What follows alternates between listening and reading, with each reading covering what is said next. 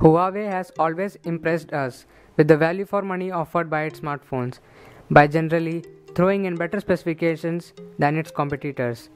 The Honor 6 is one such device from the Chinese manufacturer. But does it perform like a champ in the real world? And more importantly, does it outclass or at least match what competitors can offer? Let's find out.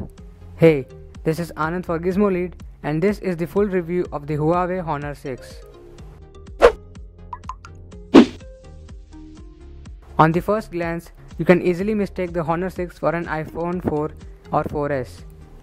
But when I saw its sides, it also reminded me of Sony. The phone, mostly because of its plastic clad body, weighs just 130 grams, which is on the lighter side for a mid range phone nowadays. It rests well in hands.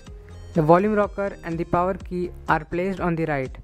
Below these buttons is a lid that opens up for a micro SIM and micro SD card.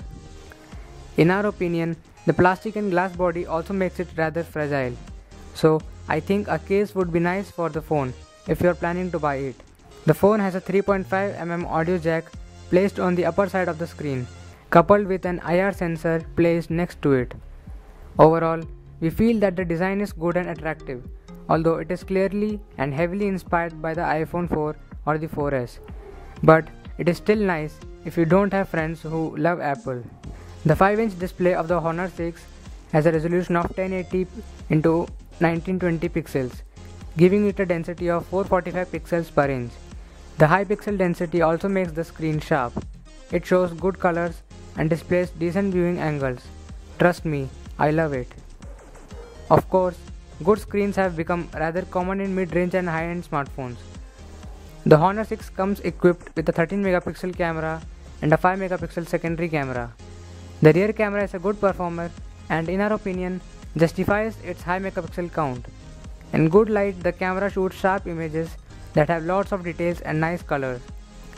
It is not the fastest of cameras but if you hold it steady and if the light is good you can get crisp images with it.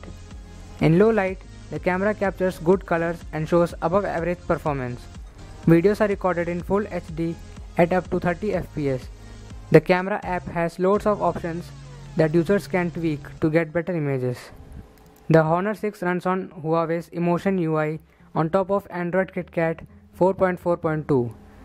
It lets you customize the icons, app badges, and app layouts, and it also comes with some preloaded themes. In addition, there are a few unique apps that Huawei has pre installed on the phone, but whatever it is, I will still use the Google Now launcher because I love it. On paper, the Honor 6 is very powerful. It is powered by a Kirin 920 which is an octa-core processor. Then there is 3GB of RAM in the phone. At its price, the phone offers one of the most powerful processors. The user interface on the Honor 6 offers a lag-free experience. We especially love the phone for its gaming. It can play almost any high-intensity game with ease and without dropping frames. The only thing we didn't like about the device was that during heavy use, it begins to heat under the back cover. All smartphones get hot under heavy use, but there were occasions when the Honor 6 got uncomfortably hot. The phone comes with 3100 mAh battery. Depending on how you use the phone, the battery can last between 20 to 25 hours, which in our opinion is fantastic.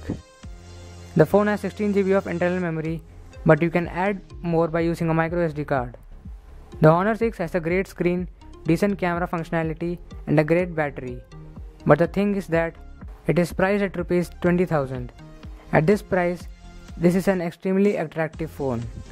The Lenovo Vibe X2 looks better, but the Honor 6 offers better performance. Actually, both the devices are quite close in terms of what they offer, and if you don't want to spend more than rupees 20000 on the smartphones, both the Vibe X2 and the Honor 6 are cool. But if you can spend a few thousand rupees more, you can also go for the OnePlus One, which is an awesome phone for its price. But hey, you need invites. Thanks for watching.